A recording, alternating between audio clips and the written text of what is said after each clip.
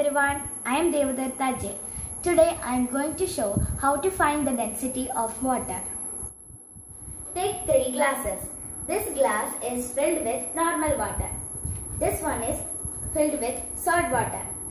This one is filled with salt water but halfly filled. Take three eggs. Here we can take an egg. Let's put it into normal water.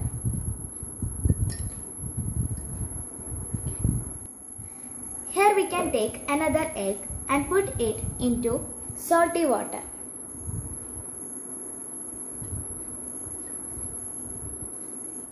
Here we can take one more egg and we can put it into halfly filled salt water. Here we can see that in the fresh water the egg has sunk.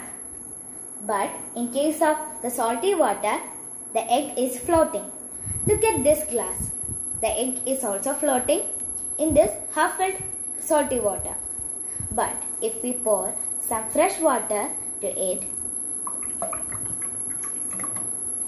we can see that the egg is floating in the middle. From this experiment, we can understand that the density of water is higher in the salty water than the normal water. Thank you.